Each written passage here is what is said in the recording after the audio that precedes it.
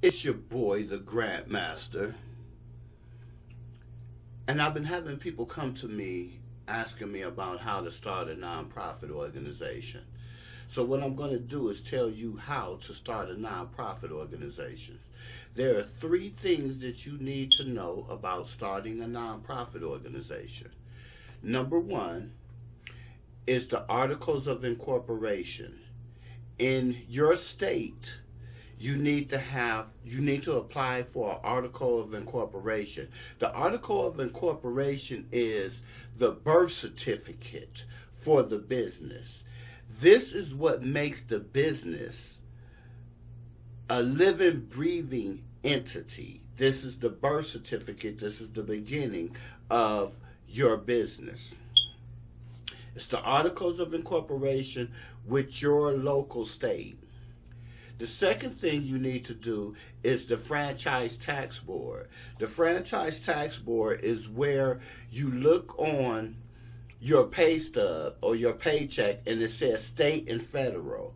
The Franchise Tax Board makes you exempt in the state of California or in whatever state you're in. It makes you exempt in that state to where you don't have to pay taxes in that state. The last thing is the 501c3, the IRS 501c3.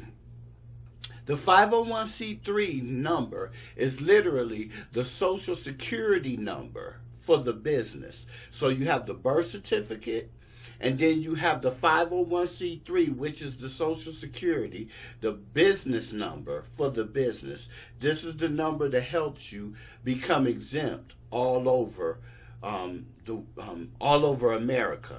This is where you don't have to pay federal taxes for your nonprofit organization. So there are three steps once again.